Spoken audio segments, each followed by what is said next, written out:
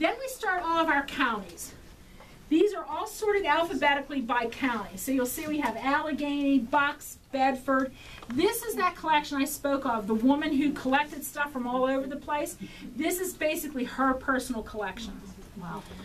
After we get through counties, you'll see we get to out-of-state resources. So there we have stuff from other states, Maryland, Wisconsin.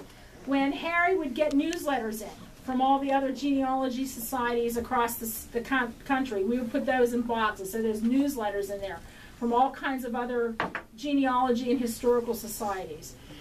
The, la- the second to the last tier you'll see at the top is marked family histories. Those are part of the family histories that I talked about. The people have bound and have given us.